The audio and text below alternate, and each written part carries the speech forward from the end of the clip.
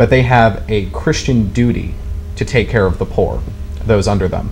Um, given the fact that we don't have, unfortunately, in this system, a natural aristocracy to rise up and take that mantle, um, but although there has been some discussion on that, I personally would think then perhaps a, a Christian authoritarian or fascist system would be the best government for whites to live under. Because the thing is, the Kennedys and Senator McCain and the people, of the Bill Gateses of the world, do not have the best interests of whites at heart. And I personally wouldn't let into uh, to our new republic simply because they have done so much damage to whites and to every people around this globe by serving our international masters. So the best system would be one in which, while there are elites, they have a duty that's enforced by the church to take care of the poor. That's why I'm not a capitalist. I don't believe in capitalism. I think it's a naturally exploitative system. So the best system is where there is a synthesis through the lower classes and the upper classes that is mediated by the church. And I really think that that is the best system for a group of people to live under, as that is the government that God gave us. Mm-hmm. You, you spoke. You, you, you used the word the Israelites. Who, who are the Israelites? If you if you if you could identify them today, who are they? What do they look like? Well, I mean, you look back in Scripture where uh, Saint Paul is uh, mistaken for a, a Roman. I uh, I would say they obviously are not European, but they uh, were of olive skin. You know, the problem is that the Israelite people, the Jews we have today, the Ashkenazis, are a subset of Judaism that converted uh, well after the death of Christ. And after the temple is destroyed and the tribes were spread throughout the world, I see a, a large uh, miscegenation issue in which most of the original tribes, or all of them, were simply bled into the areas where they decided to reside. I mean, southern Italy had uh, a large percentage of Jews that went, and there isn't a Jewish population now, not through persecution, just through intermarriage, and then the bloodline was destroyed. So I would say that um, you know, it, it's a process where those people are really not around anymore. And you oh. look at uh, Revelations in chapter 6, it refers to the synagogue of Satan and those who, who pretend to be Jews but are not. Um, and that can be taken, I think, in two ways. First of all, one, for, you know, because the new Israel is, is the church, is Christians, those who profess to be Christians but are not. But then also on the flip side, those who pretend to be of the Hebrew descent who, who are not. You know, the, the Ashkenazi are not the bloodline of, of David. So I, I, would say that uh, that could be taken in two different ways in Scripture. Hmm. Well, uh, the prophecies of Deuteronomy, the 28th chapter, basically outline who the Israelites are. They are alive and well. They are those in whom would have an enemy, it says, come from a far country and take them from their country to a land in which they knew not, they would be uh, enslaved. They would have their children taken from them, and they would be sold to other slave masters, and there would be no power in the hands of their parents to do anything about it their women and the men would fall out with each other. That's prophesied as well. And the man would walk away from his responsibilities, and the women also would do the same thing. As well as there it says something very key that this nation, which is the enemy of the Israelites, would put a place of a yoke of iron around their necks and now, if and also, it says that this people will go into captivity by way of ship. Now, when you do the simple research, you find that those people can be identified as so-called black. Me. Well, and, what do I uh, say to that though? If you look within, so if we're going to go on slavery being taken by ship, families being destroyed, you look at what happened in Ireland under Oliver Cromwell where the mass internment uh, of Irish people, people being slapped in irons and sent to sugar plantations in Barbados, tobacco plantations, being sent to the New World. You look at impressment that happened in England, where you could just be walking home trying to get home to your family after a hard day's work, and someone would come up, whack you on the head with a stick, throw you in chains, put you on a boat, and say, now you're an indentured servant. So I mean, the problem is slavery is a human condition. I mean, you, you look at the millions of Irishmen and women who were taken from their homes, who were denied their faith, denied their culture. My people don't speak English because they chose it. They speak it because that culture was forced upon them through a genocide of native, native Irish culture. So, what I mean, what I would say is, you really look that this pain and suffering, that history doesn't repeat itself, but it echoes. That the suffering of many groups of people on this planet are very familiar, and it's an unfortunate nature of a fallen world. Hmm. That's interesting. It's, it seems to me that uh, Europeans want to place themselves in that region. But the region of, that's why I spoke of Ethiopia in the beginning, or the actual name of what we call uh, Africa today, Alkebulan or Ethiopia. The Garden of Eden is found in, so, in the Bible. It's found basically in uh, Ethiopia and there were no Europeans living there. There was no Irish, uh, no Scandinavians, no Germans, or the, the man of germs, or whatever, Germany, many germs. There was, they were not there. That has nothing to do with them. As a matter of fact, that type of heat, they probably couldn't even stand at that particular point in time. so that has nothing to do with them. See, that's this is this this is where we deal with Jeremiah the 16th chapter. And I hate to keep continue to keep using these biblical scriptures, but I have to uh, Jeremiah the 16th chapter spoke very well. And it says in, I believe, the 19th or 20th verse, that the Gentiles would come from all the ends of the earth and they would have to admit to the true Israelite, to the true chosen of the Most High, the one that is hidden in prison houses, as in Isaiah the 42nd chapter said, hidden away in prison houses, which is us, that one day you all would have to come and say that your fathers have inherited lies and this is exactly what's going to happen. Christmas is a lie put on us not by Jews in school, but put on us by Europeans in school. You know damn well there's no such thing as some fat white boy flying around in the air, dropping no damn gifts, or going down no chimney hill. A lot of us in our neighborhood didn't even have a chimney. But this is something that we have been told and it's reinforced every year in schools all across this country. And it has nothing to do with Jews putting it out there or Zionists putting it out there. This is the curriculum that we get in schools every year for our children. And who creates this curriculum? Well, it was not us. It was Definitely not, not us. Well, who was it then? You look. The, the Zionists created, did you, are you going to tell me, seriously, that the Zionist Jews created the curriculum for the schools that we have today? We look who controls all of the mass media outlets in this country. There was a recent article in the New York Times. No, I'm not speaking. Of, I'm not talking about well, the mass media. Well, I'm no, talking about the, in the, the school the system. Yes, in the publishing houses, which create the textbooks. If you look, those who are controlling the all of the massive media outlets. A recent article in the New York Times talked about a Jewish writer was discussing just admit that Hollywood is Jewish, and he talked about how he couldn't find more than five Gentiles in even mid-level management in Hollywood in these companies. So you look, who creates the media? Who controls the publishing houses? Yes, almost unilaterally, it's controlled by Jews. So that is an undeniable fact. So if you want to ask who is putting out these textbooks to push this curriculum, it's not us. And I would agree with you. Santa Claus and things like that, these cultural mores that have been created are not the Christian expression. But as Christ is removed from the classroom, as crucifixes even are forced to be covered up in Christian schools where we're seeing our faith removed from courthouse steps as the Ten Commandments are dragged away, then who are the organizations who are usually doing those lawsuits? Generally Jewish organizations, or predominantly run by Jews, such as the ACLU.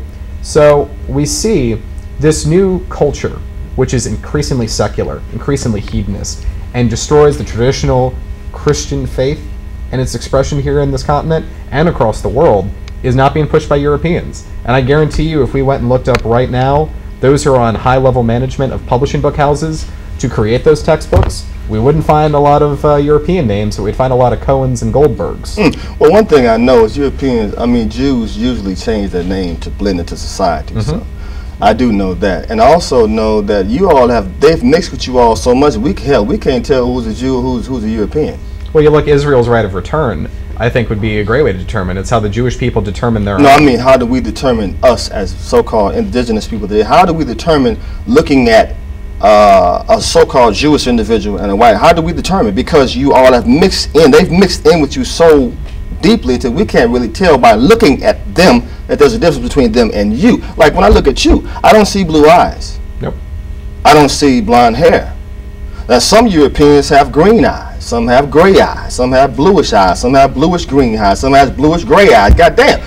All different types of colors of eye. We don't know who is who, but I do know that the majority of all of the suffering that the majority that people of color receive on this planet usually comes from someone who looks like you or someone of your I can't say hue because there's no hue there. I'm, no offense, but that's just the truth. but uh, we usually the world is under uh, uh, the rule of what appears to be European. I'd agree, and that that is the ultimate problem that we face as a European people. Because those who are controlling, I mean, you look what happens in Africa, where countries will get loans from international banking houses, and then the interest rates skyrocket, which forever create the cycle of poverty. It's not Europeans who control those banks. You look at the, the Federal Reserve, for instance. Um, not a European who runs it. He might look to be of my color, but he's not of my folk. He's not of my people. That Jews are their own separate people, but because they look like us, Okay. it's very easy to inter to intermix. And one thing I would just really want to note that you look at how, for instance, Minister Farrakhan in the Nation of Islam has, I think, really done a good job at pushing this message of where looking at when it, when it comes to some of the books the Nation of Islam has put out on slavery, where they, they trace the shipbuilders, they trace the people who financed the trips, the captains, things like that, and how a very small percentage of the population, which were predominantly Jewish, created the chattel slavery system to bring Africans to the New World. So I think we need to look as two separate peoples and as two separate advocates for our communities. That the scholarship is there, and it's much easier, for lack of a better term, to whitewash it as being the sins of Europeans. But I see both groups of people being used because when some farm boy from Arkansas goes over to Iraq to die, he's not dying for America. He's not dying for freedom. He's dying because the internationalists wanted someone to go and advance their agenda. So I would say it's as tragic as when someone from Chicago, you know, the, the ghetto of Chicago, goes over to die as a white boy fr- from Arkansas dies. That we are being pitted against each other and are being used as tools of the internationalists. And that can be the framework where I think white advocates and black advocates can really come together, not, not as friends, because we're two separate peoples, but at least with that respect to know that there is a common group who is trying to use both of us against one another. And as we hmm. fight each other, we're not looking at the real problem. Okay, so let me ask you this question.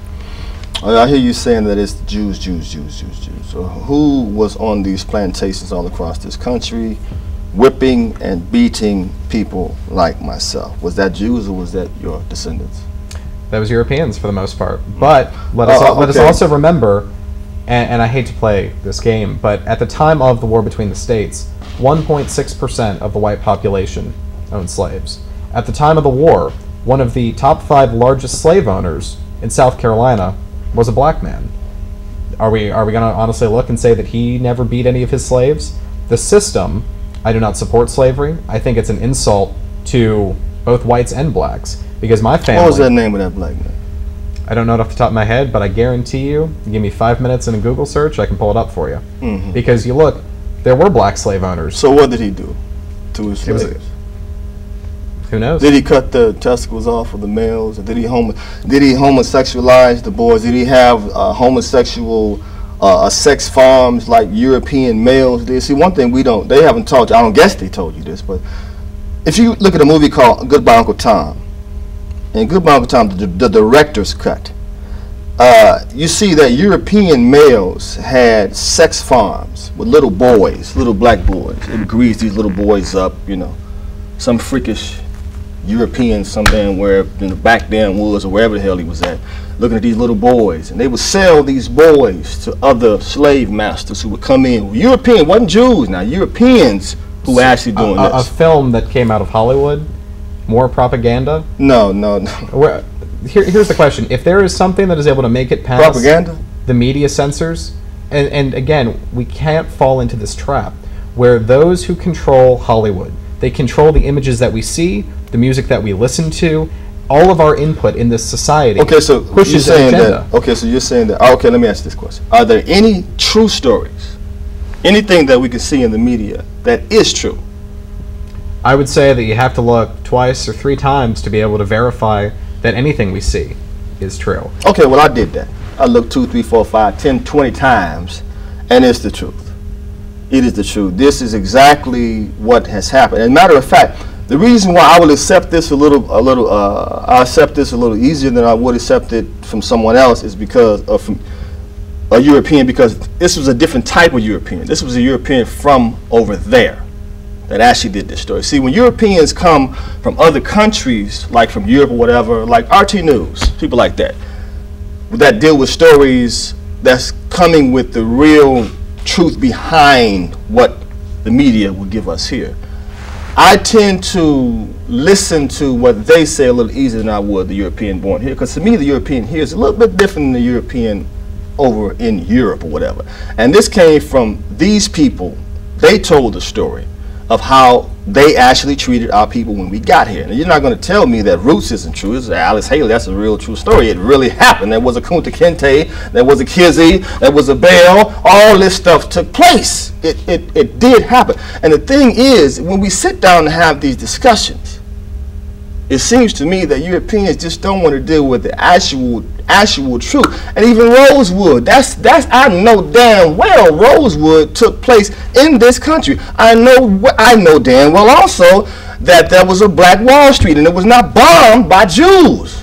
Now Well- we had Black Wall Street, as far as I know, would would have been a model for all of us. We already had separatism, as far as I'm concerned, when they had Black Wall Street. We were doing it before there was a civil rights, before we was begging to sit down in a restaurant and eat with you all or drink from a water fountain with you all, we had Black Wall Street. We were self-sufficient. But some Europeans, that's the problem. Some Europeans decided that was just a little bit too much and they blowed it up. They bombed the people. The same thing, like I said, happened in Rosewood because a white woman said she was raped by a black man. The whole damn neighborhood, of the town was destroyed, and lots of black males and women, females and children lost their life. And then it turns out that she was lying, like a lot of European women do, even to this day, will get raped or whatever, and then say a black male raped them. And then we, as black men, see, have to deal with racial profiling or whatever, especially when a white woman says anything, we are in trouble.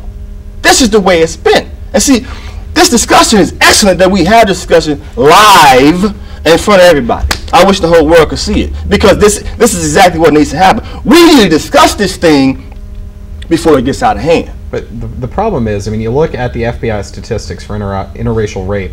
I would be very interested to see a, a production on that where you look at the numbers that of white men who rape black women, statistically, on the FBI's own website, is, is zero, which means 10 or less per year. Um, you look at black on white rapes, it's over 40,000. I mean, I think if you want to look at crime, now, first of all, going back to slavery, slavery was tragic. Slavery never should have happened. That's what happened when you put profit ahead of race. And when you dehumanize not only the black population, but you look at what slavery did to the white underclass, which my family was a part of, that wages being destroyed, creating almost a slavery system for poor whites in the South. Um, so the big problem is slavery was a bad system. I don't support it. I wish we had never done it. But the dehumanization of what when people put money ahead of race, when they put it ahead of family, they put it ahead of church, horrible things happen. And that's something that we can all agree on. Uh, and I agree with you also that before the civil rights movement, then the black community had its own upper and middle class. It had lots of businesses. It, it was thriving. But what happened? When you forced the mixture, that was destroyed. In my own hometown, there were black owned businesses that went under when segregation ended simply because then all the black folks went to the white stores. And the folk ties within the black community were disrupted from the businesses and the churches, and then everyone was mixed together. So, again, I think the best way to be able to help all of our peoples is to separate and re get that system where we become self sufficient. And of course, we can look and find examples of tragedy perpetrated by whites on blacks. That is horrible, and I would never stand by actions like that. But on the same token, I guarantee you, going through the history books, we can find plenty of examples of rape, plenty of examples of violence, all sorts of murders being perpetrated of blacks on whites. So instead of being, you know, I- I could get myself angry over violent acts perpetrated against my people a while ago. And even to this day, you can open the newspapers, and my former alma mater, uh, Towson University, that just recently several students were held at gunpoint when a group of black men kicked in their doors, pointed shotguns at them, and robbed them of everything. Several black men this past two weeks uh, sexually assaulted two girls on campus, raped them right there in, in, in public. So, yeah, there's a lot of bad things going on. And again, that's why separatism solves these racial problems. But we can't lament tragedies being done only to blacks because whites have suffered at the hands of plenty of black men throughout the years. And this institutionalized system, which pits both of us against one another, is not being pushed by Europeans because it doesn't benefit us. Mm. Slavery did not benefit the white community because how can poor whites, middle class whites compete with free labor? You can't. Well, uh, the song I hear on the commercial, Cotton, the fabric of our lives. Hell, I hear that co- commercial all the time. Cotton, the touch, the feel of cotton, the fabric of our lives. Goddamn, I mean, we picked a lot of cotton, and Europeans got filthy rich off that cotton. Next caller. Go ahead, caller. Mr. Wine. Yo, Roger Manuel, gonna apologize. I don't pass policy. Uh, they keep on doing it to us anyway, Brother Wine. I hope God send more earthquakes, more tornadoes. Y'all doing a good job, Brother Wine. Shalom. Shalom, brother. Next caller. Caller, go ahead. Speak. Ye- uh, yes. Uh, years ago, I would think I will not have support this guy, but today I support him with what you Caucasian is saying because for profit prison is our re-enslavement and some black people even want to compromise for them to come and establish those prisons in our community. This is something that we cannot compromise on. This is something to be destroyed. We cannot afford to go on slavery again. And also, finding our own place in this continent will help us to establish co- commercial viability. Right now, we are under commercial asphyxiation with other people being in a community. For example, no one single black man in Chicago area owns a gas station. Gas station has a fractionated mineral that all these other people are benefiting from. And we should be ashamed that the Indians that came yesterday, a black man has to go to him to raise money for him so that he can be in the United States Senate. And finally, we got to get this straight. 90% of United States Senate is are Jews. And therefore what impacts the black life in this country is Jew. And then don't let us leave it to Farrakhan, eh, Farrakhan alone to cash hair. Thank you. Thank you. Next caller. Uh, hello, brother Dawar. Good morning to you. Good morning, Uh, brother. good morning to your guest, uh, Mr. Uh, Hi- uh, okay, uh, Matthew. Pleasure, sir. Okay, uh, uh, Matthew, I listened to you, uh, and I agree uh, with uh, what you were saying about uh, international Jewry and Zionism, hmm and uh, how it's behind uh, uh, basically all the world uh, ills right now.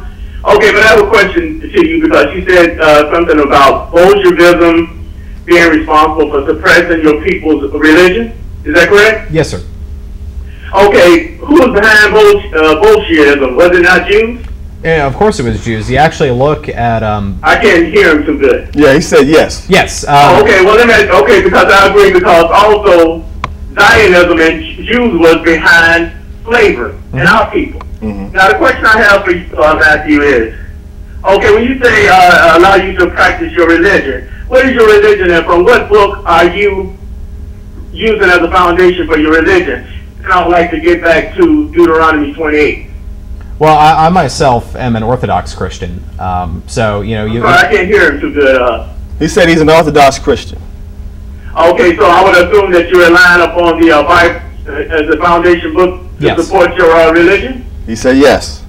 Oh, okay. Now, going back to the book of uh, Deuteronomy, the 28th chapter, and see, uh, uh, uh, so, uh, when you asked him uh, specifically about uh, uh, the prophecies of uh, Deuteronomy 28, he shied away from it. He said something about they could be olive skin, all this kind of stuff. When you look at the prophecies of uh, Deuteronomy 28, which is a curse that's come upon Israel and the people if they did not follow the commandments of God. Okay, it specifically, all of these prophecies are aimed toward black people who are spread throughout the uh, diaspora. Right. It's not toward the Irish people. Now, when we talk about uh, Irish people and their religion, okay, it's pagan in origin because I, I have to ask uh, Brother Matthew. When we look at the uh, uh, pagan celebration of Halloween, would you not agree that uh, that traces back to the Celtic people? I, I would, and that's actually why, as an Orthodox Christian, uh, a lot of the westernized um, pagan traditions that were a synthesis through folk religions and the Roman Church, uh, we reject. We say, you know, our Easter is not on the feast day of Ishtar, who is a pagan European goddess. Our Easter, Pascha. Well, uh, what, Matthew, what do that have to do with uh, the God of this book? Well, I mean, what, what I would say is that the Orthodox faith follows the faith as it has been practiced for 2,000 years. And if we want to talk about who the real Israelites are, we also have to look in Scripture where it refers to Jews blushing. And um, I, I, must say that I, I, don't think many Africans blush in the way that, are, that was described, the reddening of the face in that way. That seems much more someone of a lighter complexion. Um, you know what, Brother Patel, I'm having a hard time uh, being able to respond to him because I can't hear. Okay, brother. Sorry for sorry for okay, the. but I would just like to finally say that uh, the reason black people were suffering. Okay. I'm sorry, we lost. Him. Next caller. Thanks, brother, for the call. Call back if you can. Next caller. Next caller. Yes. Yes. Hi. Peace. Yes. Go ahead. Yes, I'm just here to say, you know, he can say that his family didn't actually, people didn't actually participate in the process. But when they drank from the cup of white privilege and white supremacy, they did more harm to black people than any slavery system could have ever done. So we can't absolve him and say, oh, we come to, to come to the table with you and sit down and talk with you and interact with you because you are part of the problem. You are not a part of the solution to African American people. That's the reality of it. Thank you. Thank you. Now, the main thing here, uh, uh, Matthew, is that you, you say that we need to separate, correct? Mm-hmm. I totally agree, and I, have said that uh, several several times on previous shows that uh, we need to separate at the very at the very least. I think that we as a people have got to heal, uh, and, and, we we just can't do it intermingling with you all. It's just not going to work. And we can go back and forth a, million hours on this and that and that and this, and we're never going to come to, I guess, a conclusion, because it seems to me that some things are overlooked. Or you don't want to people, you all don't want to deal with the real atrocities that have really happened honestly and just admit that, yeah, we did this. Yeah, we played this part. Yes, yes, yes, yes. But anyway, I do agree that there needs to be some separatism um, so that we as a people can go and heal ourselves from the atrocities. We're still suffering from slavery, mental, physical, financial, all these types of things. And now they're trying to take us back into slavery. Like the little girl went to school and the little black girl went to school with locks in her hair and they sent her home and she was all in the news crying because she doesn't understand why she's sent home with you know with this type of you know hair or her, trying to follow her culture it's just so many things that we cannot do so i do believe uh, that at the very least we should separate and i also i, I do believe that um, that separation should take place as fast as possible I would agree with you. When you look at um, we got like one minute left. So. Deal. Well, uh, cultural and demographic displacement. You look as a Southerner, where our, our monuments are being torn down to our dead, where we can't even fly our own flag as a people because it's deemed offensive uh, to people above the Mason-Dixon line.